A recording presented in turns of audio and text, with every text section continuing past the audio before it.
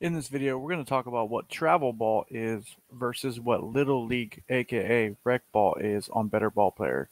So today, I'm going to go into a kind of a topic that kind of like can educate you as a parent or whoever's watching this, um, grandparent, guardian, whatever. Um, you, when you come to that, you know, standpoint where like, okay, well, what what league do I need to put my son in or daughter? You know, travel ball actually has, and in Little League has baseball and softball. Specifically, we're going to talk about baseball in this video. So when it comes to two different paths, we have basically Little League, aka rec ball, and we have kind of the upper echelon, which is called travel ball, which has a few different, um, you know, divisions. U Triple SA. There's a bunch of them throughout the United States that are different, and you know, Cal Ripken and all that kind of stuff. So today we're going to talk about that.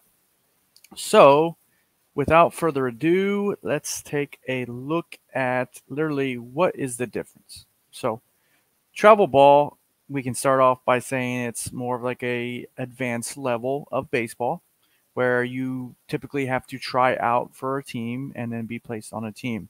Uh, travel ball organizations can be funded uh, by nonprofits. They can be privately funded. Some of them, you know, are made teams um, usually coached. You know, there's two types of coaches: paid coaches by the organization, or there's you know dads or parents that that will coach these teams. Um, typically, you'll see a higher level of play. I'm not saying in all cases, but in most cases, you'll see a higher level of play in the travel ball tournaments and leagues, just because it's it's dedicated towards the person who wants to go a little bit farther, play a little more serious, play more. Um, so you'll see that in kind of the travel ball aspect of baseball and you know youth baseball. When you get up into the um, the older kids, older young men, you'll have you know perfect game. You'll have a bunch of other uh, subsets of travel baseball that go into effect as well. So you, you'll tend to see the higher competition, more skilled athletes in travel ball. And again, I'm not saying that you know with little league players are not as gifted as some because some play both. So it's just a matter of uh, telling you what a travel ball team consists of. So that kind of you know highlights on the fact of travel ball. So you know it's a little bit more of aggressive. Um, you're going to be traveling. You're going to be obviously travel ball. You're going to be going to different complexes. You're going to be competing in tournaments on weekends and sometimes during the week. You'll be going away. You'll be traveling. You'll be playing with your team. Um, so there's all of that. It's not a local league, and you just play in the local league. You'll be traveling for uh, competition, be traveling for games. So that's kind of it, it. You know, total. You know, Cliff Notes, top level uh, explanation of what travel ball is. And let's get into what uh, Little League Baseball is, aka rec ball. So, with Little League, obviously, um, different communities all over the United States have local baseball league. Um, so that would be the Little League league.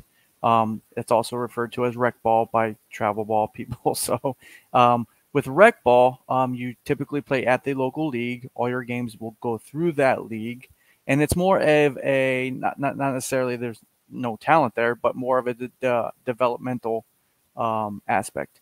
You know, a lot of kids play little league just to get out and do sports and just be a part of a team and learn and you know learn aspects of baseball, which you know I like to preach on with my own kids. You know, you learn discipline, you you learn to you know be a competitor, you learn to respect others, you know that type of thing.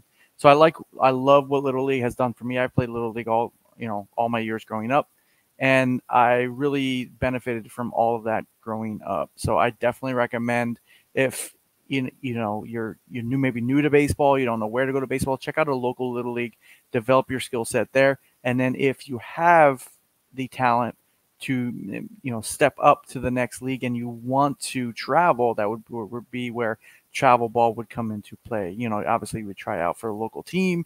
Uh, you can you know use Facebook, use Google, you know Google travel ball teams in, in blank area. There's a ton of resources for that and, you know, try out for a local team. So definitely wanted to do this video because I've been seeing a lot of questions.